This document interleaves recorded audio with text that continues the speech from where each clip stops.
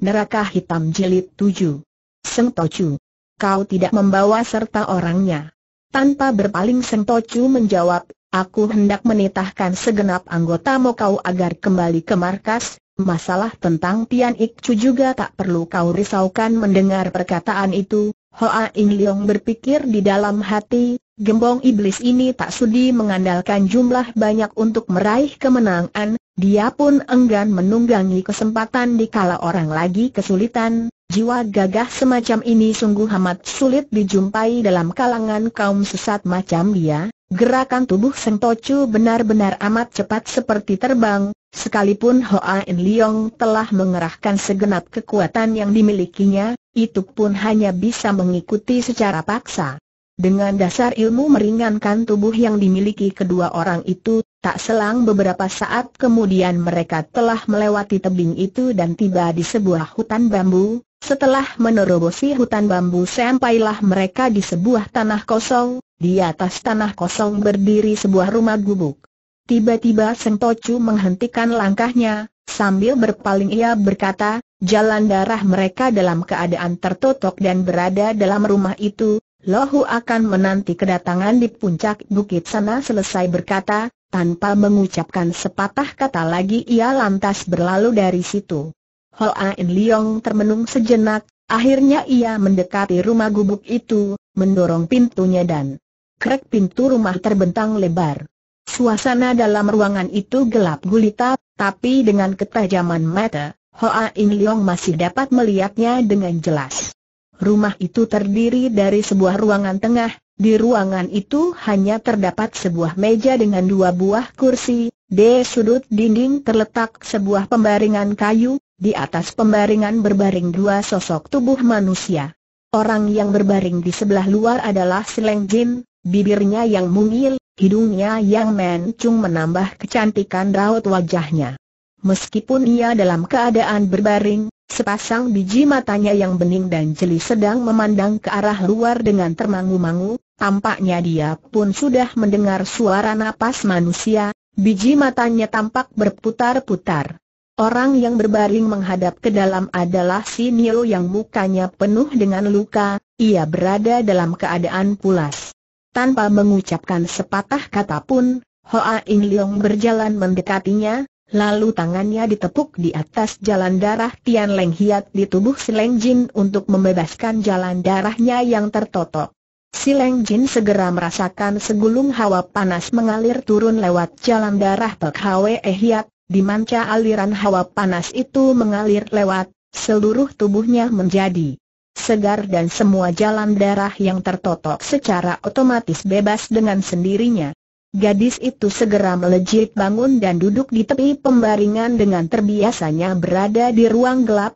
Lamat-lamat gadis itu dapat pula menyaksikan bentuk tubuh Hoa In Leong, seketika itu juga perasaannya terasa tersumbat, seakan-akan ada beribu kata terkandung dalam hatinya namun tak sepatah kata pun sanggup diutarakan keluar, mukanya termangu-mangu persis seperti seseorang yang baru sadar dari impian. Menyaksikan keadaan darah itu Hoa In Leong segera menghela napas panjang, katanya, Nona apa yang kau rasakan sekarang mendengar pertanyaan itu tiba-tiba butiran air mata jatuh berlinang dari mata Seleng Jin. Hoa In Hang segera berpikir, sudah pasti kedua orang ini mempunyai pengalaman hidup yang amat geletir, apalagi setelah bertemu dengan gembong iblis macam Seng Tocu, tentunya banyak sudah pengalaman seram yang dirasakan, Berpikir sampai di sana, timbul perasaan iba dan kasihannya dengan lembut ia berkata, pertolonganku datang agak lambat, tentunya Nona sudah banyak mengalami kejadian yang mengejutkan hati Hoa Kongcu, bisiknya. Untuk sesaat dia tak tahu apa yang mesti diucapkan, air mata bercucuran amat deras, kalau bisa ia ingin menangis sepuasnya. Tapi dia adalah seorang gadis yang berhati sekeras baja, Air matanya segera dibesut dan ia berusaha keras untuk menahan rasa pedih di dalam hatinya. Mendadak Hoa In Leong teringat kembali akan janjinya dengan Seng Tocu, hatinya merasa amat terkejut, ia merasa sudah membuang waktu terlalu lama, pikirnya, dalam pertarunganku melawan Seng Tocu 90% jiwaku tiada harapan bisa selamat, padahal obat Yau Tiwan ini menyangkut jiwa dari beribu-ribu orang jago dunia persilatan, aku harus mengatur segala sesuatunya secara tepat, berpikir sampai di situ, dengan wajah serius ia lantas berkata, Nonasi, aku ada satu persoalan ingin minta tolong kepadamu, apakah kau bersedia membantu Kongcu? Ada pesan apa? tanya si Leng Jin dengan air mata bercucuran.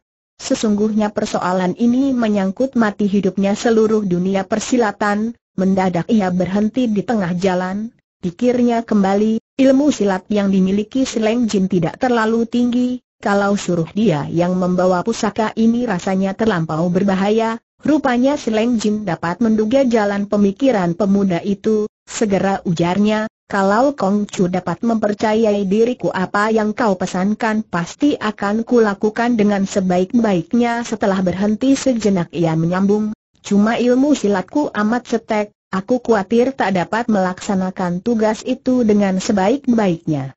Hoa Ing Leong segera tersenyum, ia telah mengambil keputusan di dalam hati, sambil mengeluarkan botol porselen yang berisi pil yantiwan itu dan menyerahkan kepada Sileng Jin, ia berpesan, Isi botol porselen ini adalah obat mustinya, dari sini harap Nona menuju ke barat dan melewati dua buah bukit, di ujung sebuah lembah terdapat sebuah gua yang tertutup oleh tumbuhan rotan, temuilah Tian Ikcu, Tian Ikcu seru Sileng Jin dengan wajah terkejut.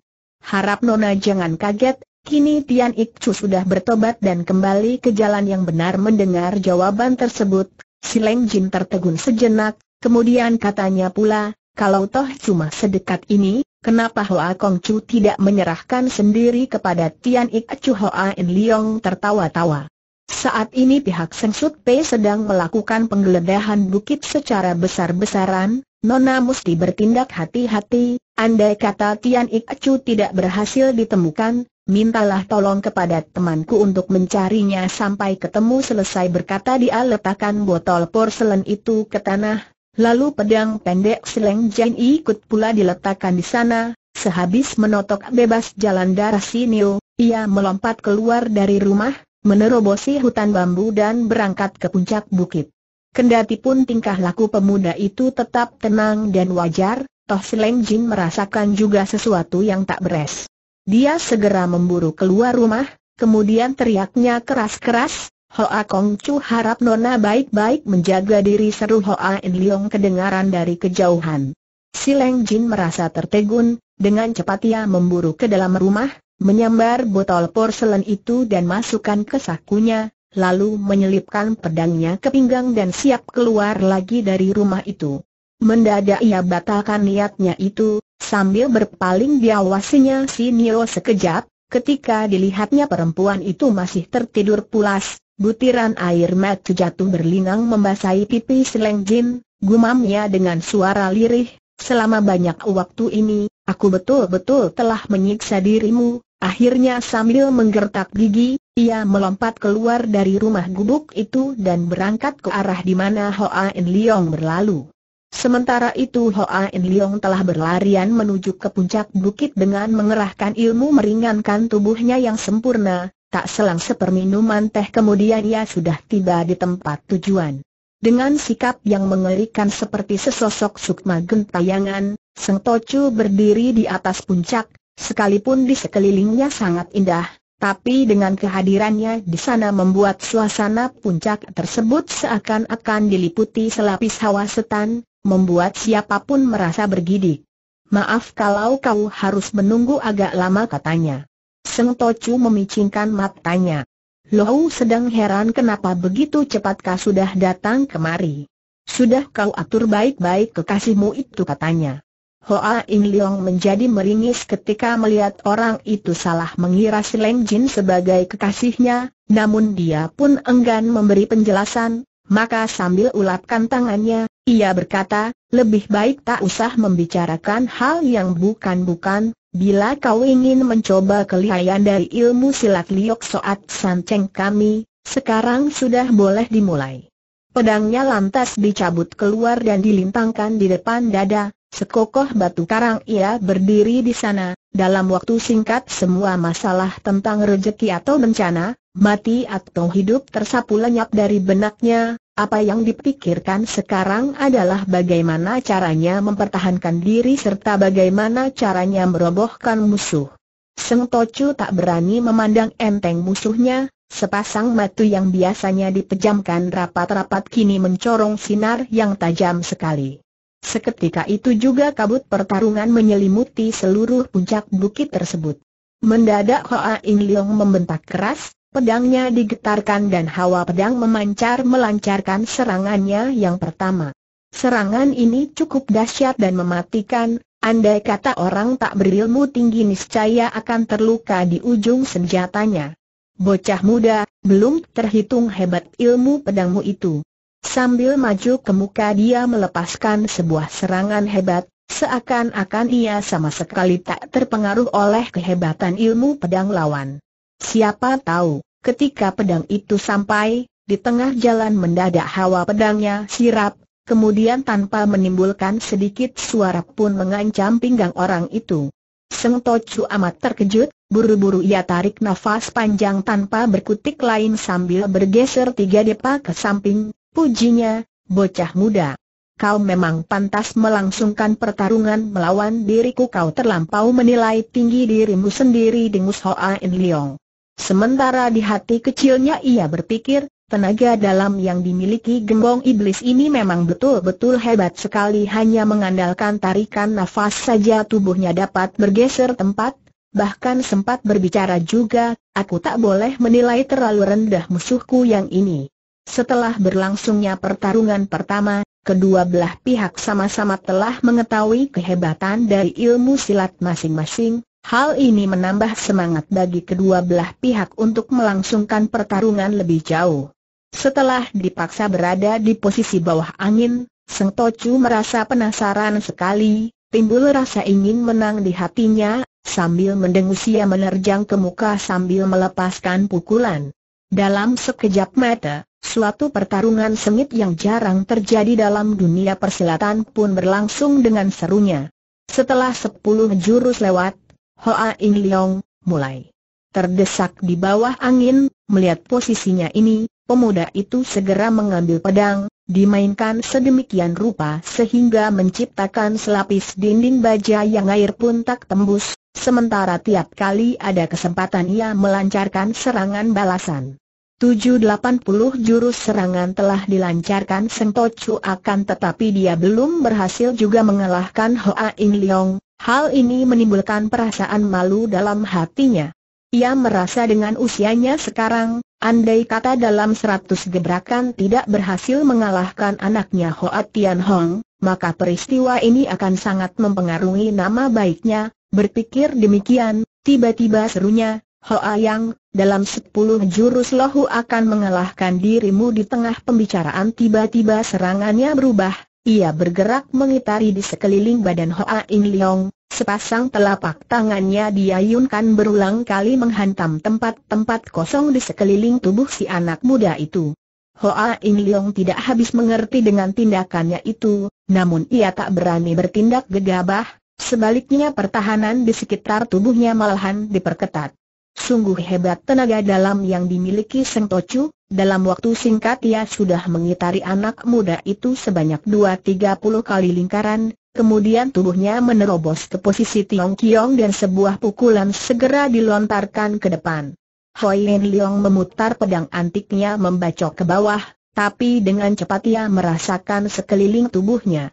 Seakan-akan telah membeku, bacokan pedangnya yang mengarah tubuh lawan pun segera meleset ke samping. Pertarungan antara jago lihai mana boleh meleset seinci pun? Terdengar sentocu tertawa terkekeh-kekeh, sebuah pukulan dahsyat segera dilontarkan ke dada lawan. Sesungguhnya serangan ini sulit sekali untuk dihindari, Untungnya Loa In Leong cerdas dan ilmu silatnya sudah mencapai kesempurnaan, apalagi pengalamannya yang cukup selama berkelana dalam dunia persilatan, membuat ia tidak panik dalam menghadapi bahaya maut. Dalam keadaan kritis, telapak tangan kirinya diayun ke depan menyongsong datangnya ancaman tersebut. Plak sepasang telapak tampan ria segera menempel antara yang satu dengan lainnya. Tujuan Sentocu yang sebenarnya memang demikian, maka serentak hawa murninya disalurkan keluar dengan dahsyatnya untuk menerjang tubuh Hoa In Leong. Buru-buru si anak muda itu mengerahkan tenaga dalamnya untuk melakukan perlawanan sementara pedang di tangan kanannya langsung membacok ke bawah. Seng Tocu bergerak cepat, tangan kirinya segera diayun ke depan untuk mencengkeram urat nadi pada pergelangan tangan Hoa In Leong. Telapak tangan kiri Hoa In Leong yang digunakan untuk melawan tekanan hawa murni dari Seng Tocu hampir telah mempergunakan segenap kekuatannya, karena keadaan terdesak terpaksa ia membuang pedangnya dan berganti. Menotok jalan darah Tai Chiu Hiat pada belakang telapak tangan Seng Tochu. Sebelum pedang yang terjatuh mencapai tanah, kedua orang itu sudah melangsungkan pertarungan sebanyak 4-5 jurus dengan menggunakan segenap kekuatan yang dimilikinya. Harus diketahui bahwa tenaga dalam yang dimiliki Seng Tochu jauh lebih hebat dibandingkan Hoa In Leong, Hal ini sudah merupakan kenyataan yang terbukti, sudah barang tentu Hoa In Leong yang mengetahui kelemahannya berusaha keras untuk menghindari suatu pertarungan beradu kekuatan, sayang posisi Seng Tocu berada di atas angin, sehingga mau tak mau mereka harus menempelkan kembali sepasang telapak tangannya untuk beradu tenaga.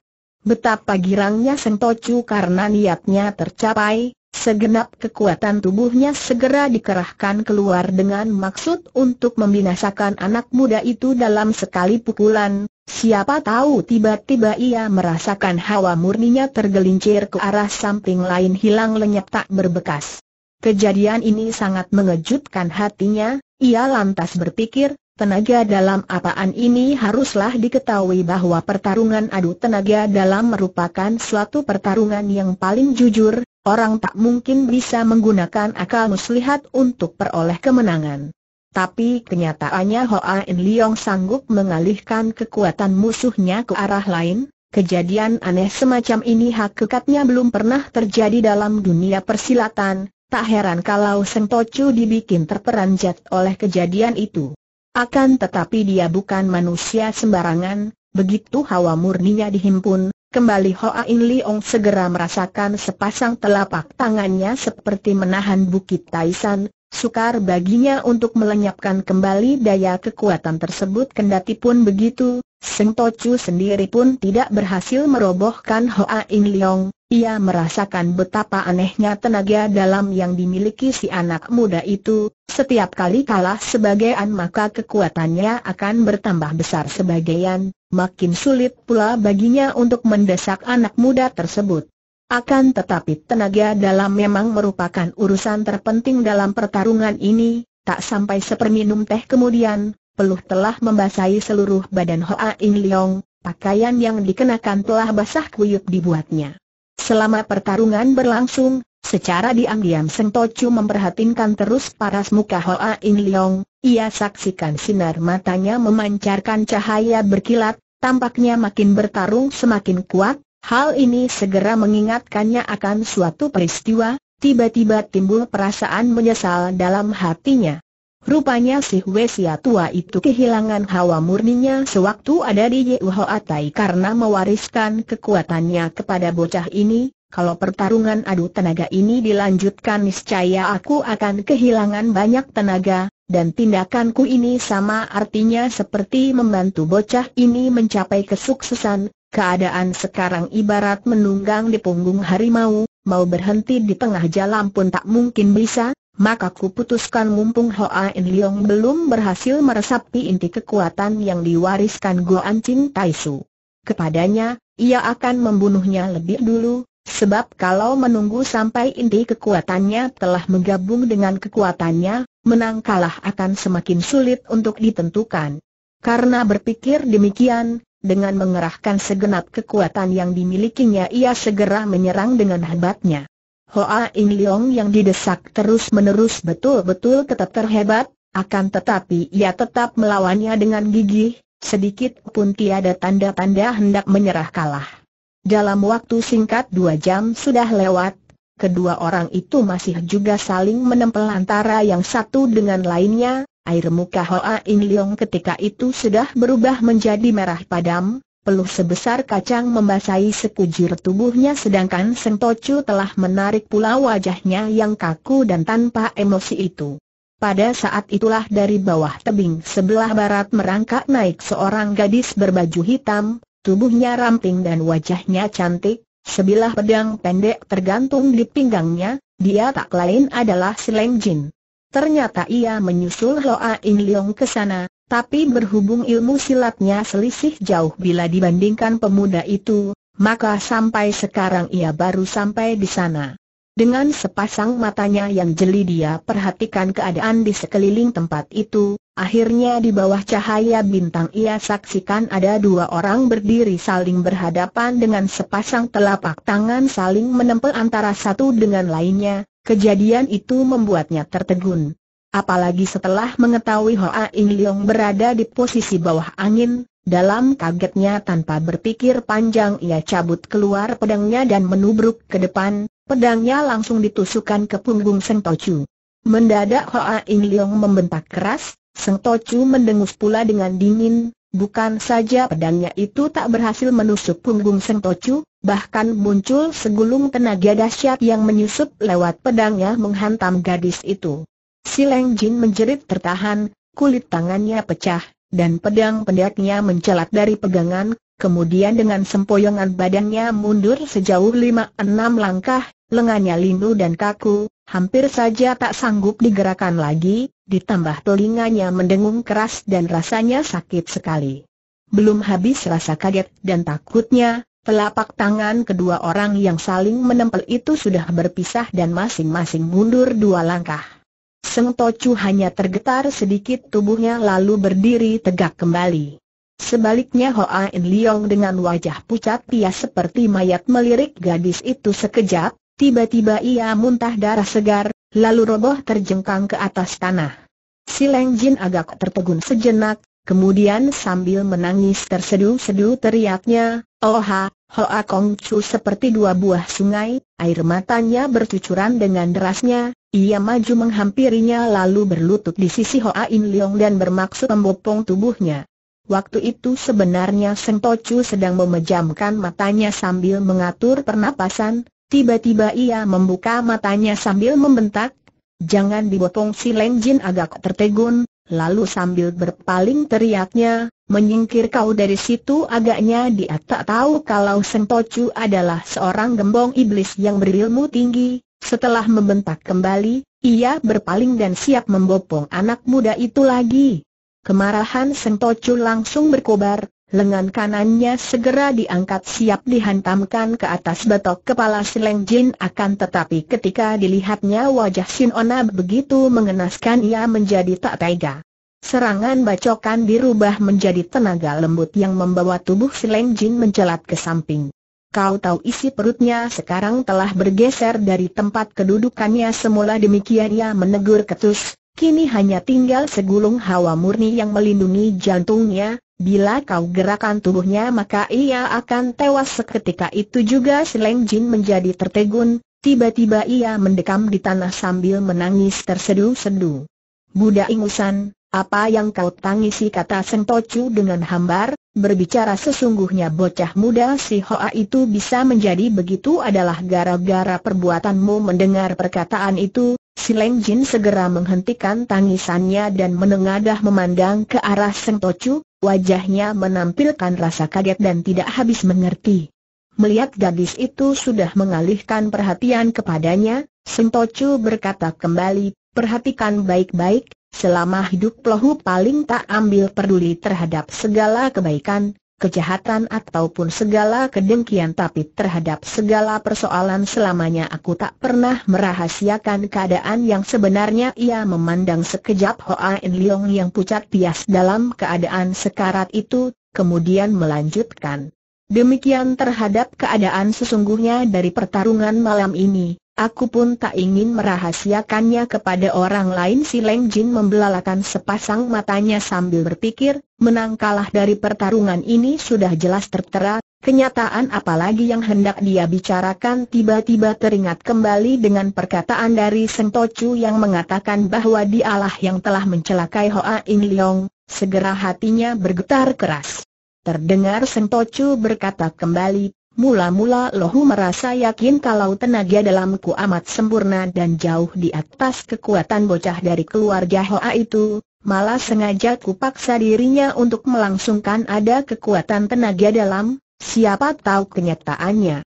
Tiba-tiba wajahnya memancarkan sinar keraguan, tanyanya kemudian, Hei budak cilik, Tahukah kau tenaga dalam yang dipelajarinya itu berasal dari perguruan mana tentu saja pelajaran dari keluarganya jawab Sileng Jin. Seng Tocu segera gelengkan kepalanya berulang kali. Meskipun Lohu tidak begitu memahami Gin Hoat tenaga dalam dari keluarga Hoa, tapi aku yakin tenaga dalam yang dipelajarinya bukan berasal dari aliran keluarga Hoa, sebab tenaga dalamnya sangat kuat bagaikan gelombang yang berlapis-lapis, Gelombang yang satu jauh lebih hebat dari gelombang berikutnya, lagi pula aliran hawa murninya itu sebentar mengalir secara lurus sebentar mengalir kembali secara terbalik, tenaga dalam aliran keluarga Hoa tidak mempunyai gejala semacam ini.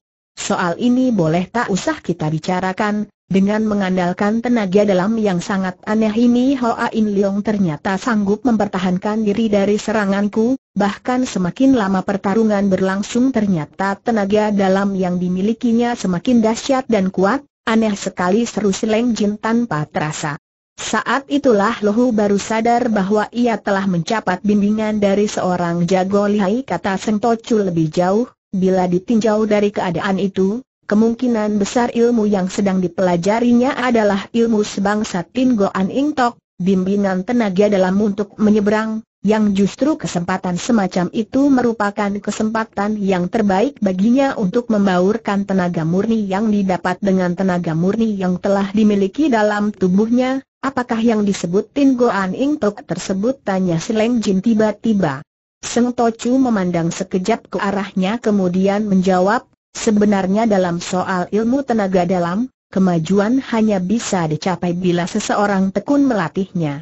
Tapi lain ceritanya jika dia mempunyai sebangsa obat yang dapat mengganti tulang merubah otot, selain daripada itu jika ada seorang tokoh sakti yang rela menghadiahkan tenaga dalam hasil latihannya kepada orang lain tentu saja hal ini pun bisa terjadi, dan care yang terakhir inilah yang dinamakan sebagai Tinggoan Ingtok tersebut.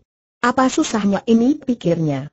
Tampaknya Seng Tocu dapat menebak suara hatinya, dengan dingin dia berkata, care semacam ini tampaknya saja gampang padahal jauh lebih sulit prosesnya daripada mempergunakan obat mustika, sebab pertama sedikit kesalahan saja akan berakibat fatal, kedua, tokoh sakti semacam ini sukar ditemukan di dunia ini, yang lebih penting lagi orang-orang itu biasanya enggan memberikan hasil yang luar biasa kepada muridnya tanpa si murid harus bersusah payah.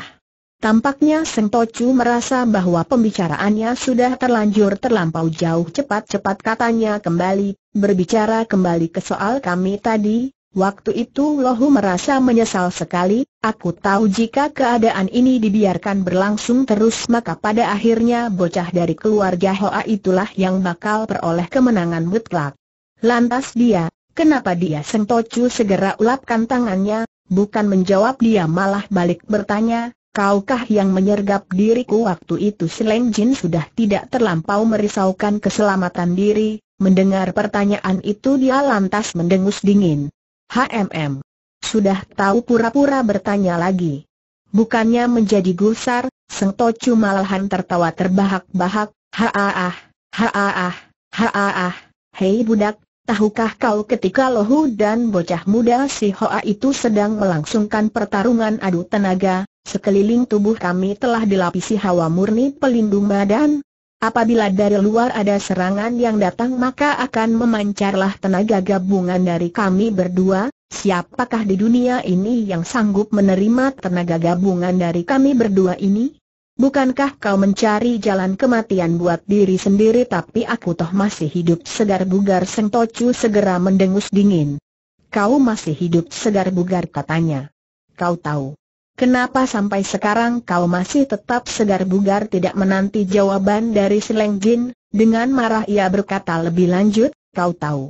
Seseorang yang hampir saja tiada tandingannya di kolong langit, telah hancur lebur dan lenyap tak berbekas, gara-gara perbuatanmu itu suaranya keras dan tegas, sama sekali berubah dari sikap semulanya yang hambar dan berbau hawa setan itu. Si Leng Jin termenung sebentar, mendadak dengan wajah berubah hebat serunya, jangan, jangan, betul tukas Seng Tocu, gara-gara ingin menyelamatkan jiwamu dan lagi dia pun tak ingin menangkan aku dengan care, tak adil, akhirnya ia malah berubah menjadi begini rupa. Di balik ucapannya itu lamat-lamat kedengaran pula nadanya yang bersedih hati. Haruslah diketahui, barang siapa telah menjadi seorang ahli dalam suatu kepandaian, tentu akan timbul suatu perasaan sayangnya terhadap generasi penerus yang memiliki bakat bagus. Selama hidupnya boleh dibilang Seng Tocu hanya terjun dalam bidang ilmu silat, sudah barang tentu dia menaruh rasa sayang terhadap setiap orang yang berbakat bagus dan berilmu tinggi. Sayangnya Loa In Leong bukan berasal dari Seng Sut Pei, malahan merupakan musuh tangguh partainya, rasa dengki telah menindas rasa sayangnya. Akan tetapi di saat keadaan Hoa In Leong terancam bahaya, rasa dendamnya seketika lenyap tak berbekas, sebagai gantinya timbullah rasa sayang dan kasihannya. Oh, oh, oh, oh, oh, oh, oh, oh, oh. Dengan tatapan sinar kosong si Leng Jin memandang awan di angkasa, lama sekali ia berdiri termangu, lalu dengan wajah yang sedih, gumannya lirih, aku, akulah yang telah mencelakainya, tak kusangka, tak kusangka tiba-tiba sinar matanya membentur dengan pedang antik yang tergeletak di tanah, tanpa berpikir panjang lagi ia menyambar senjata itu dan menggorok ke leher sendiri.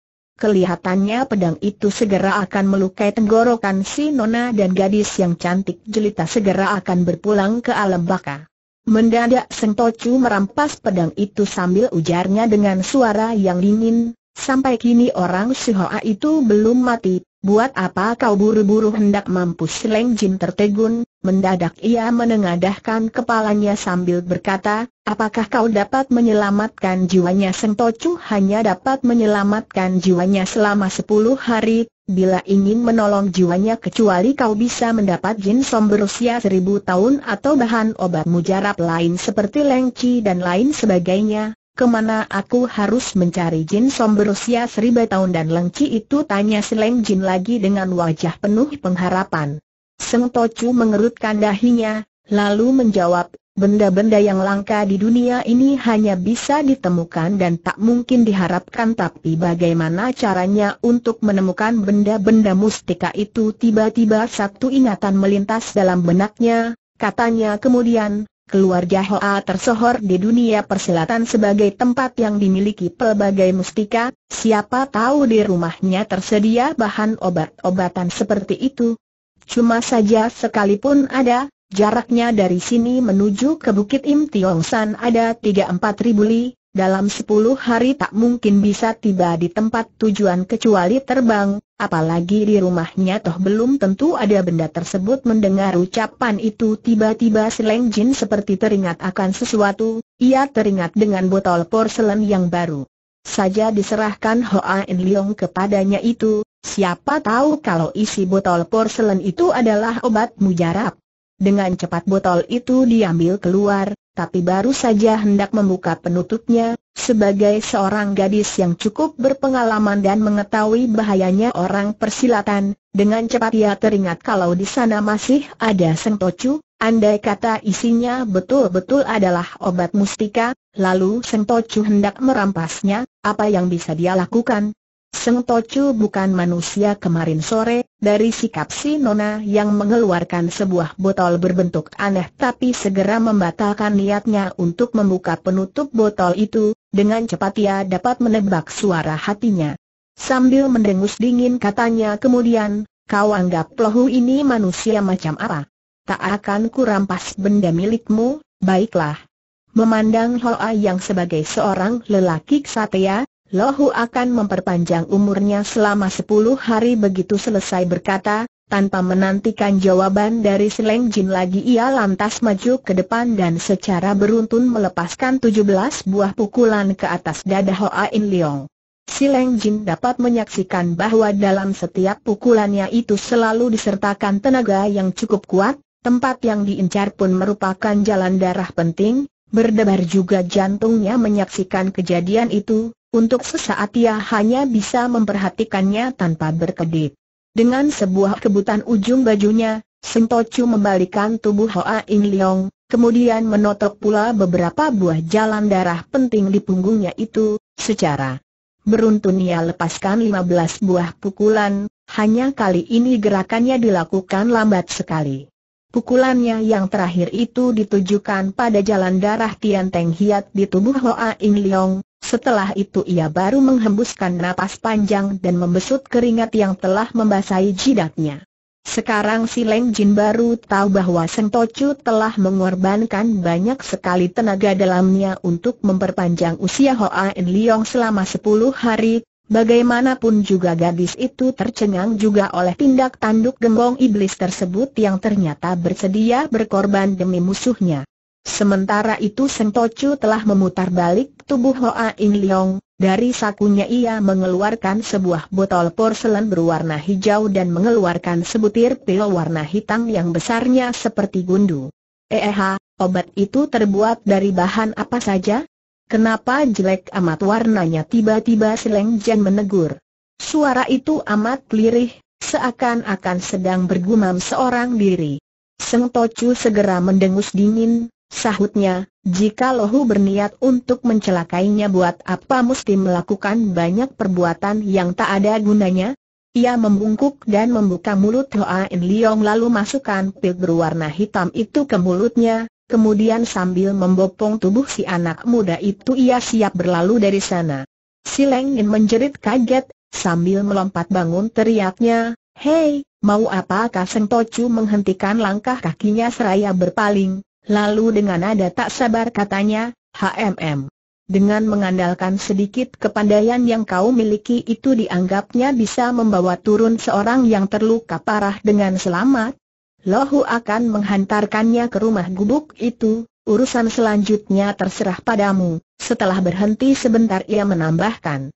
Dasar pikiran perempuan memang selalu picik tubuhnya cuma curiga melulu. HMM.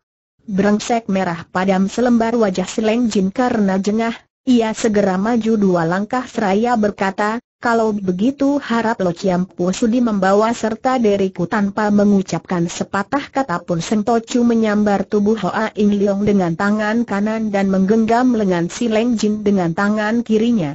Tiba-tiba gadis itu berseru lagi. Eh, eh, eh, tunggu sebentar Seng mengernyitkan alis matanya seperti tidak sabar, tapi ia toh melepaskan juga genggamannya.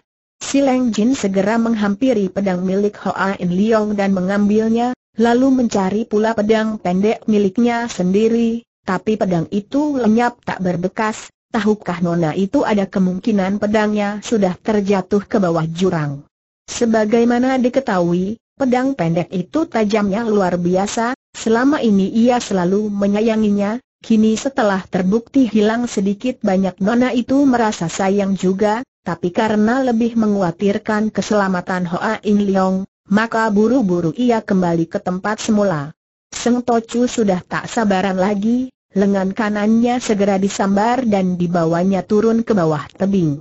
Sepanjang jalan si Leng Jin hanya merasa desingan angin kencang menyambar lewat dari sisi telinganya, pemandangan alam di sekitarnya sukar diperhatikan dan kakinya seakan-akan tidak menempel tanah, Diam-diam terkejut juga Sin Ona itu oleh kebebatan ilmu silat yang dimiliki Seng Tocu bila dilihat dari kepandaian silat yang dimiliki iblis ini tak mungkin kemenangan bisa kuraih. Bila terjadi pertarungan yang saling berhadapan muka, mumpung sekarang ada kesempatan lebih baik kutusuk punggungnya secara diam-diam dengan begitu dendam sakit hati Hoa Kong Chu pun bisa terbalas, toh bagaimanapun juga yang bakal celaka juga aku seorang, Kenapa tidak beradu jiwa dengannya berpikir sampai di sini dengan hati.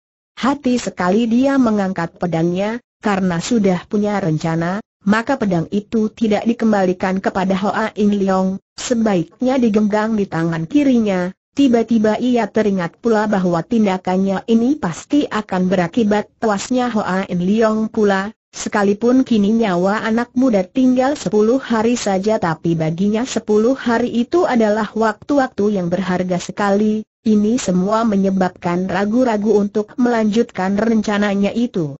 Belum lagi keputusannya diambil, tiba-tiba mereka sudah berhenti dan Seng Tocu telah melepaskan tangannya, ternyata mereka telah tiba di depan rumah gubuk itu.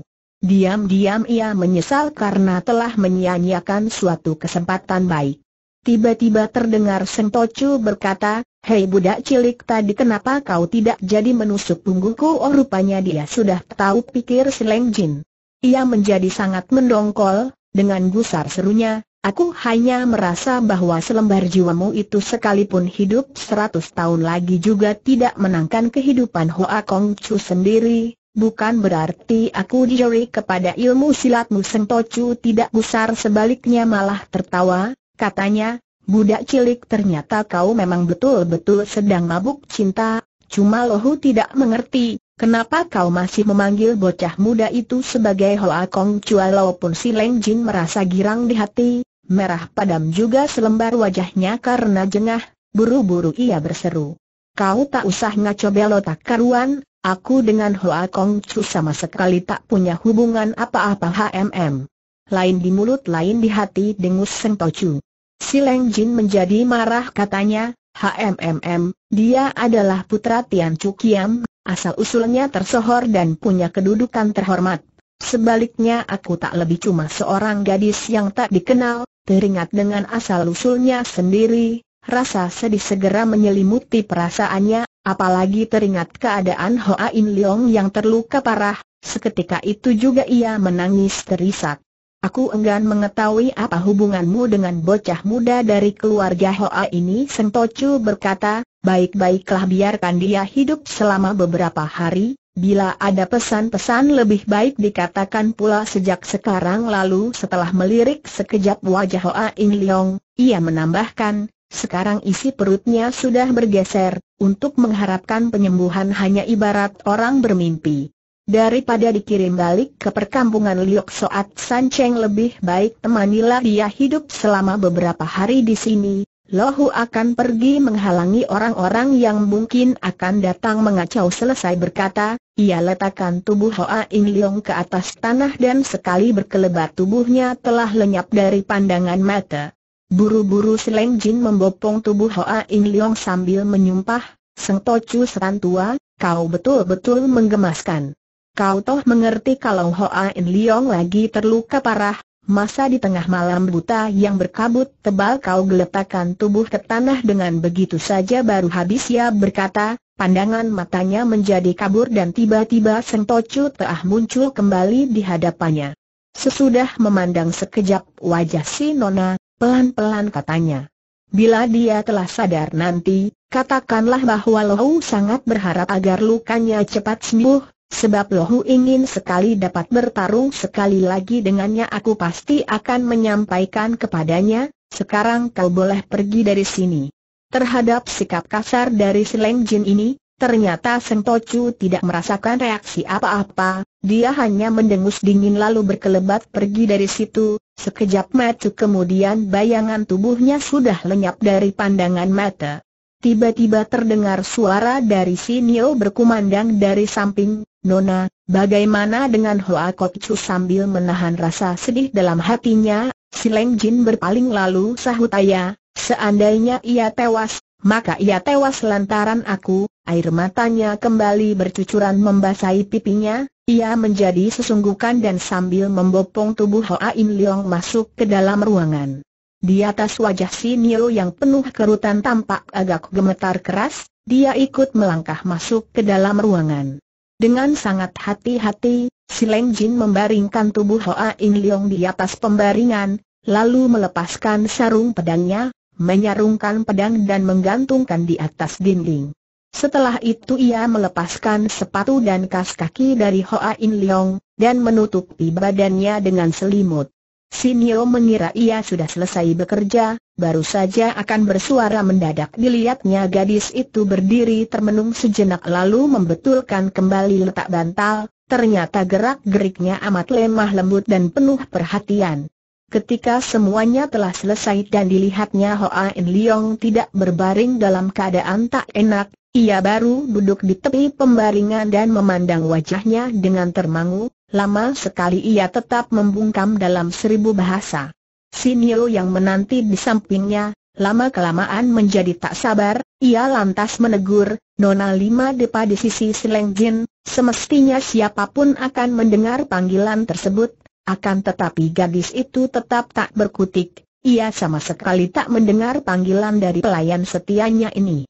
Terpaksa si Nio harus mempertinggi suara panggilannya, Nona, tanpa berpaling si Leng Jin nulapkan tangannya SST, jangan berisik si Nio betul-betul dibikin tertegun, agaknya kecuali Hoa In Leong ketika itu ia sudah melupakan segala persoalan yang ada di dunia ini. Satu ingatan segera melintas dalam benak pelayan tua itu, tiba-tiba ujarnya, setelah sadar nanti apa yang dibutuhkan Hoa Kong Chu. Apakah Nona perlu mempersiapkannya? Ternyata ucapan itu manjur juga, si Leng Jin segera menjawab, ehm, coba periksalah apakah di dapur masih ada makanan, kalau ada bawa saja kemari. Sekalipun mulutnya menjawab, Sepasang matanya yang jeli itu masih mengawasi wajahnya Hoa In Leong tanpa berkedip. Diam-diam sini mau berpikir, Ai, orang si Hoa ini betul-betul penyakit, kalau Nona begini terus keadaannya bagaimana jadinya nanti setelah berpikir sebentar, terpaksa ia menuju ke dapur. Tak lama kemudian ia telah muncul kembali sambil membawa sebuah baki yang berisi dua mangkuk bubur panas serta tiga macam sayur. Setibanya di belakang si Leng Jin, perempuan itu berseru, Nona, hidangan telah tiba nanti saja, jawab si Nona, ia toh masih belum sadar sekali lagi raut wajah si Nio yang jelek bergetar keras, katanya setelah merenung sejenak, Nona, lebih baik kau makan lebih dulu tidak usah kembali si Nio menjadi tertegun, akhirnya dia menghela napas panjang, dengan perasaan apa boleh buat terpaksa ia menarik meja itu ke sisi pembaringan lalu setelah meletakkan baki ke atas meja ia duduk di bangku dan memperhatikan gerak-gerik majikannya. Dalam kebeningan malam yang mencekam di antara tiga orang yang ada dalam ruangan, dua duduk berjaga satu tidur dengan pulasnya, tanpa terasa Fajar mulai menyingsing. Tiba-tiba Hoa In Leong menghembuskan napas panjang dan pelan-pelan membuka mulutnya. Leng Jin girang, si Leng Jin menyaksikan kejadian itu, segera serunya, kau telah sadar diam-diam Hoa In Leong mencoba untuk mengatur hawa murni yang dimilikinya sudah tak ada, ia pun menemukan isi perutnya sudah tergeser dan jiwanya terancam bahaya maut, diam-diam ia merasa terkejut sekali. Kendati pun demikian, sambil tertawa hambar ia toh berkata juga, ke mana perginya Seng Tocu dengan sikutnya menyangga badan, ia mencoba untuk bangkit dan duduk. Buru-buru Seleng Jin menahannya sambil berkata, Lukamu sekarang parah sekali lebih baik jangan sembarangan bergerak dan terbaring saja. Ketika Hoa In Leong mencoba menggadakkan tenaga, ia segera merasakan kepalanya pusing dan dadanya sesak, ia sadar tak boleh banyak berkutik lagi, maka sambil berpaling kembali katanya seraya tertawa, Wah, Baru pertama kali ini ku rasakan keadaan seperti ini, hitung-hitung aku punya jodoh juga dengan keadaan seperti ini Seleng Jin yang menjumpai anak muda itu sama sekali tidak memperhatikan mati hidup sendiri, apalagi teringat dengan ucapan Sentocu yang mengatakan bahwa nyawa Hoa In Leong tinggal 10 hari lagi, hatinya menjadi sedih sekali bagaikan disayat-sayat dengan pisau, air matanya segera bercucuran membasahi pipinya. Hoa In Leong tersenyum, kembali ujarnya, aku tahu walaupun keras hati dan gagah, di hari-hari biasa jarang sekali melelahkan air mata. Persoalan apakah yang membuat kau bersedih hati sekalipun dalam keadaan terluka? Ternyata ucapannya masih lemah lembut, si Leng Jin benar-benar tak kuat mengendalikan emosinya lagi, Tiba-tiba ia menjatuhkan diri berlutut dan membenamkan kepalanya ke pembaringan sambil menangis terseduh-seduh. Sinio bangkit berdiri sambil membuka mulutnya seperti hendak mengucapkan sesuatu, tapi ia segera membatalkan niatnya, setelah menghela napas sedih, dengan air mata membasahi pipinya diam-diam ia mengundurkan diri dari situ. Hoa In Leong palingkan wajahnya ke arah si Nona, lalu dengan lembut katanya, Persoalan apa yang telah menyedihkan hatimu? Coba ceritakanlah kepadaku aku benci seru Sileng Jin sambil menangis tersedu-sedu. Membenci siapa tanya Hoa In Leong sambil menggerutkan dahinya. Aku membenci Seng Tocu Hoa In Leong segera tertawa, katanya, ia pernah menganiaya diriku, melukai aku pula, kau memang pantas membencinya dengan suara tersendat-sendat Sileng Jin melanjutkan kembali kata-katanya, aku lebih membenci pada diri sendiri wah ini tidak boleh terjadi, mana ada orang yang membenci diri sendiri kata pemuda itu sambil tersenyum. Aku pun membenci dirimu sambung gadis itu gemetar. Hoa In Leong mengernyitkan alis matanya, tapi setelah membenarkan letak tubuhnya ia mengangguk. Yaa, pastilah aku telah membuat kesalahan kepadamu Sileng Jin menengadahkan kepalanya, dengan air mata bercucuran ia berkata, aku membenci dirimu, Membenci kepadamu kenapa terlalu memikirkan keselamatan jiwaku seharusnya kau gunakan kesempatan itu untuk membunuh. Seng Tocu si iblis tua itu, aku mati juga tidak mengapa, daripada hidup sengsara di dunia ini Hoa In Leong segera tertawa. Pepatah kuno mengatakan, daripada mati secara baik-baik lebih baik hidup agak sengsara, meskipun di dunia ini penuh dengan orang jahat, namun tidak mengurangi kecantikannya, Meski aku harus mati secara mengenaskan, itu pun kulakukan dengan hati yang berat, sebaliknya kau masih muda, mana cantik lagi, kenapa mesti mengucapkan kata-kata yang begitu tak sedap didengar? Sileng Jin menundukkan kepalanya sambil menangis terseduh-seduh ia tidak berbicara pun tidak berhenti menangis. Melihat gadis itu tak bisa dihibur diam-diam Hoa In Leong berkerut kening, tapi setelah berpikir sebentar ia lantas berkata, Coba dongakkan kepalamu dengan lemah lembut Sileng Jin mendongakkan kepalanya, meski ia tidak habis mengerti dengan maksud tujuan pemuda itu. Dengan sinar mata yang cerah Hoa In Leong mengamati sekejap wajahnya yang basah oleh air mata itu, kemudian dengan wajah bersungguh-sungguh hujarnya, Sewaktu kau lagi menangis ternyata jauh lebih menarik daripada sewaktu kau lagi tertawa, dulu aku tak punya kesempatan untuk memperhatikannya, sekarang bisa mendapat rezeki besar seperti ini, rasanya lukaku ini pun ada harganya Seleng Jin tidak mengira kalau dalam keadaan seperti ini pemuda itu masih punya kegembiraan untuk menggodanya, ia menjadi tersipu-sipu dibuatnya. Ketika itulah si Nio muncul sambil membawa sebuah baki penuh dengan bubur yang masih mengepul panas, bubur yang telah dingin tadi diambilnya kembali. Setelah digoda oleh Hoa In Leong barusan, rasa sedih di hati Sileng Jin menjadi jauh berkurang, ketika mencium bau harumnya bubur ia terasa lapar sekali, segera pikirnya, dia pasti merasa lapar sekali berpikir demikian, ia pun membimbing bangun anak muda itu, letak bantalnya dibelikan sehingga pemuda itu dapat setengah berbaring, lalu diambilnya bubur dan secara telaten menyuapi anak muda itu.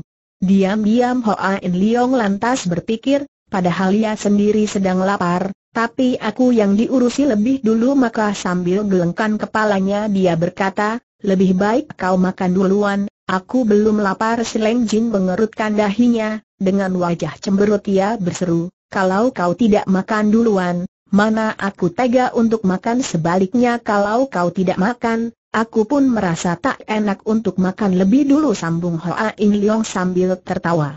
Tiba-tiba Seleng Jin mengucurkan air mata kembali, katanya dengan sedih, kau bisa menjadi begini, semuanya adalah gara-gara aku, baik, Baiklah aku makan duluan buru-buru Hoa In Leong menukas sambil tertawa. Ia mencoba untuk mengambil mangkuk sendiri, ternyata lengannya terasa lemas sekali, sewaktu diangkat ternyata lengan itu gemetaran keras. Sileng Jin teramat sedih melihat kejadian itu, hatinya serasa disayat-sayat dengan pisau, nyaris ia melelahkan air matanya. Ia tak mengira seorang jago silat yang tak terkalahkan dalam dunia dewasa ini, kini berubah jadi begitu lemah sehingga untuk menggerakkan lengan sendiri pun susah sekali. Akan tetapi lantaran ia khawatir Hoa In Leong tak senang hati maka buru-buru ia berpaling ke arah lain sambil diam-diam menyeka air matanya, kemudian sambil tertawa paksa katanya, lebih baik kau jangan mempersoalkan segala tata care yang tetek bengek, biar ku suapin untukmu Hoa In Leong tertawa getir, terpaksa ia biarkan si Leng Jin menyuapi untuknya. Sambil menyuapi bubur untuk pemuda itu, secara ringkas si Leng Jin menceritakan apa yang telah terjadi setelah pemuda itu tak sadarkan diri, hanya soal usia yang tinggal 10 hari ia rubah menjadi harus beristirahat sehingga dapat sembuh seluruhnya. Tentu saja hal tersebut tak dapat mengelabungi diri Hoa In Leong, cuma ia pun tidak membongkar rahasia itu. Ketika dua mangkuk bubur sudah habis, cerita pun telah berakhir, sambil menghela napas Hoa In Leong lantas berkata, Ternyata Seng Tocu bersedia mempergunakan ilmu Tian Mo Tisin Kang untuk menyembuhkan lukaku, hal ini betul-betul merupakan suatu kejadian yang sangat aneh. Tian Mo Ti kata Sileng Jin dengan dali berkerut, kok kedengarannya berbau hawa setan. Jangan-jangan secara diam-diam ia telah melukai dirimu Hoa In Liong segera tertawa. Walaupun kedengarannya tak sedap, Sesungguhnya ilmu itu adalah care pengobatan yang paling hebat dari pihak Mokau, tidak mungkin Seng Tocu akan bertindak pengecut seperti itu setelah berhenti sejenak, ia menambahkan. Di kemudian hari, aku pun harus menolong jiwanya satu kali mendengar itu Sileng Jin lantas berpikir. Nyawamu saja tinggal beberapa hari lagi mana mungkin bisa menolong orang lain? Dengan perasaan yang amat pedih seperti diiris-iris dengan pisau, ia mencoba tertawa paksa, kemudian katanya, sekalipun mampus, iblis tua itu juga rada keenakan, buat apa kau mesti menolongnya Yaa, barang siapa telah berhutang budi, apakah tidak pantas untuk membalas budi itu katanya. Tapi kalau dibiarkan hidup terus, entah berapa banyak orang yang bakal dicelakai oleh iblis tua itu? Tidak mungkin, aku tahu bahwa dia adalah seorang yang tinggi hati, tak mungkin ia akan mau turun tangan terhadap orang biasa, asal orang itu bisa ditaklukkan, dia pasti akan mengasingkan diri, tak nanti akan mencelakai dunia. Ketika Sileng Jin menyaksikan pemuda itu sudah menunjukkan tanda-tanda lelah setelah berbicara sekian lama, buru-buru katanya sambil tertawa, bagaimana kalau kau berbaring dulu, aku hendak bersantap dalam keadaan terluka parah, Keadaan Hoa In Leong memang lemah sekali, ia merasa agak lelah setelah bercakap-cakap sekian lamanya, maka dia pun mengangguk. Si Leng Jin buru-buru memayangnya untuk berbaring kembali. Tak lama kemudian Hoa In Leong sudah pulas dengan nyenyaknya. Dengan termangu-mangu Si Leng Jin mengawasi terus wajah pemuda itu, ia tidak bersantap dan entah apa saja yang dipikirkan, Sebentar senyuman di kulum sebentar lagi parasnya berubah dan air mata bercucuran, tapi karena khawatir menyadarkan Hoa In Leong dari tidurnya ia tak berani menangis hingga bersuara. Selama ini si Nio hanya mengawasi terus dari luar pintu, menyaksikan keadaan tersebut dia segera lari masuk sambil serunya, Nona, kalau begini terus keadaanmu, bagaimana jadinya nanti Seleng Jin menghela napas sedih, sahutnya dengan lirih, Sinil, jika ia mati aku pun mati dua patah kata mati itu ibaratnya martil berat yang mengetuk hati Sinil, kontan saja ia menjerit sekeras-kerasnya, mati. Nona, kau sudah gila? Si Leng Jin berpaling, wajahnya menunjukkan kekerasan hatinya yang telah bulat. Tidak, aku tidak gila. Aku waras dan segar bugar Nona tak ada harganya kau berbuat demikian kembali Sinil berseru dengan perasaan gelisah. Kenapa tak ada harganya sebab bocah muda dari keluarga Hoa ini pada hakikatnya adalah seorang kongcu romantis yang suka bermain perempuan, jangan kau ina dirinya dengan kata-kata yang tak senonoh hardik seleng jen marah. Sinio agak tertegun, lalu serunya lagi, tapi ia memang menebarkan bibit cintanya kepada siapa pun, belum tentu dalam hatinya terdapat bayangan nona perkataan itu diucapkan dengan suara keras dan nyaring. Si Leng Jin segera khawatir kalau ucapan itu menyadarkan Hoa In Leong dari tidurnya, ia berpaling sekejap ke arahnya, ketika dilihatnya Hoa In Leong masih tertidur pulas, hatinya baru merasa lega. Katanya kemudian, pergilah beristirahat, lebih baik persoalan ini tak usah dibicarakan lagi. Si Nio tertegun dan berdiri melongot, tapi bagaimanapun juga dia adalah pelayan dari keluarga si, dengan metu kepala sendiri dia saksikan si Leng Jin tumbuh jadi dewasa, karena itu dia pun tahu bahwa keputusan yang telah diambil selamanya tak dapat dirubah kembali. Semua ini timbul gara-gara karena lelaki hidung bangor itu, lebih baik kubunuh saja Hoa In Leong berpikir sampai di situ, hawa nafsu membunuh segera memancar keluar dari sorot matanya, tanpa sadar dia pun berpaling dan melotot sekejap ke arah si anak muda itu. Si Leng Jin yang menyaksikan keadaan tersebut menjadi gelisah sekali, tiba-tiba dia berkata, bila kau berani berbuat sesuatu yang tidak menguntungkan bagi Hoa Kong Chu, seketika itu juga aku akan mati. Seluruh kulit wajah si Nio yang menyeramkan itu mengejang keras, ia menggertak gigi dan tidak menjawab. Si Leng Jin segera berkata, Kau anggap aku cuma bermain-main saja Nona, apakah kau lupa dengan Joya Chu tiba-tiba Nimar menjerit keras.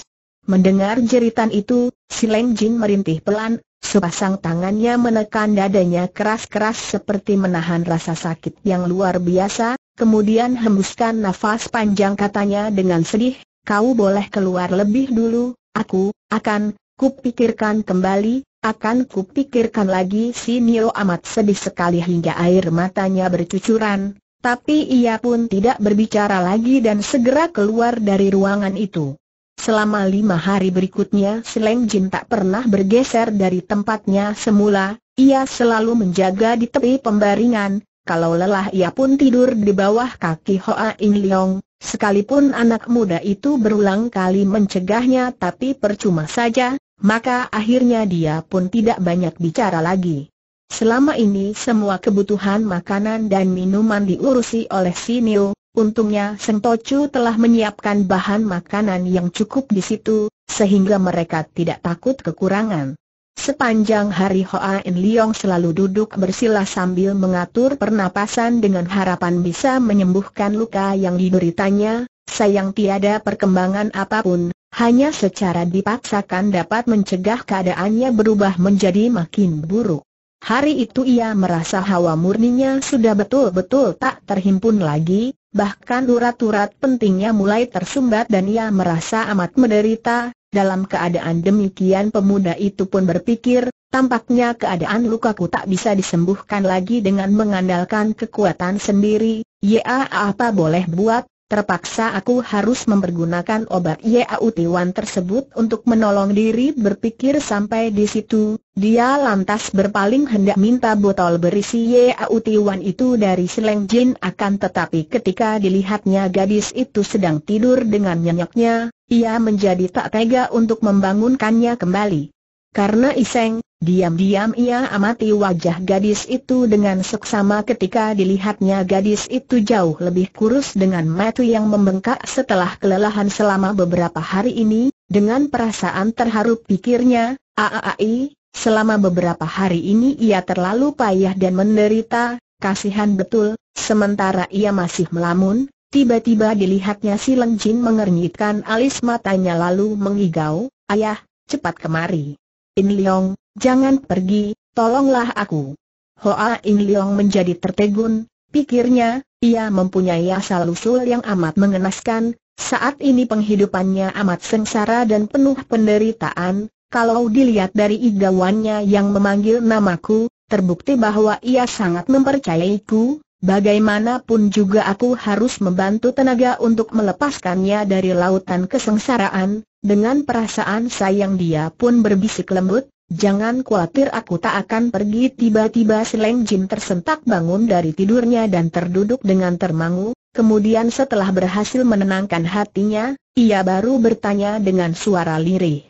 Barusan apa yang kau katakan tempo hari karena ada persoalan pembicaraan kita terhenti di tengah jalan lalu selama beberapa hari ini karena perhatianku tertuju untuk menyembuhkan luka, aku selalu tak sempat menanyakan asal-usulmu, mumpung sekarang ada waktu bersediakah kau memberitahukan soal ini kepadaku Seleng Jin menghela napas panjang. Aai, soal ini lebih baik kita bicarakan lagi sesudah lukamu sembuh nanti Hoa In Leong manggut-manggut. Baiklah, apakah botol porselen yang kutitipkan kepadamu itu masih ada masih sabut Sileng Jin setelah tertegun sejenak, mau apa kau dari sakunya ia mengeluarkan botol itu dan diserahkan kepada Hoa In Leong, kemudian katanya lagi, sebenarnya. Sejak semula obat ini hendak kuberikan kepadamu, tapi berhubung Seng Tocu ada di samping dan kau pun tak mampu berkutik maka niatku ini kemudian kubalalkan Hoa In Leong tertawa hambar, Kini apakah lukaku bisa disembuhkan atau tidak? Terpaksa kita harus menggantungkan pada kemujaraban obat ini obat mustika apakah itu? Bagaimana kemanjurannya? Tanya Sileng Jin tercengang. Pil ini bernama Yauti, dibuat oleh Buseng, malaikat ilmu silat, pada 300 tahun berselang malaikat ilmu silat tanya Sileng Jin sambil membelalakan sepasang matanya lebar-lebar. Yaa, malaikat ilmu silat Im Lo Chiam Po yang namanya pernah tersohor dalam dunia persilatan pada 300 tahun berselang, sahut Hoa In Leong sambil tertawa. Kenapa aku tidak mengetahui tentang Lo Chiam Po ini tukas Leng Jin tiba-tiba, padahal persoalan sekitar keturunan malaikat ilmu silat tak ada yang lebih jelas daripada keluargaku mendengar ucapan tersebut. Hati Hoa In Leong segera tergetak, pikirnya kemudian, Aaaa, kalau begitu dia pastilah keturunan dari Tin Hao yang ada di luar perbatasan, kalau tidak kenapa ia mengucapkan kata-kata ini.